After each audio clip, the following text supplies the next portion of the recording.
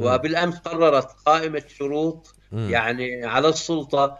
إذا لبت السلطة جزء منها ستصبح إلى سلطة عميلة ليس فقط وكيلة للاحتلال وإنما سلطة عميلة. وإذا أصبحت سلطة عميلة يعني تنتهي كسلطة تمثل الفلسطينيين بأي شكل من الأشكال.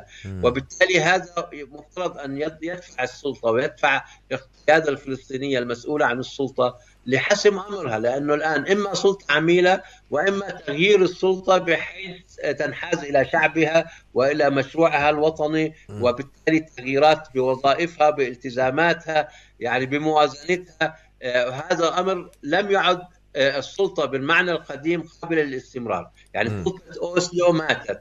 الآن مفترض سلطة لا تربطها التزامات متبادلة، لا تربط تربطها عملية سياسية، وإنما سلطة تقوم بوظيفة لصالح الاحتلال. بالكامل،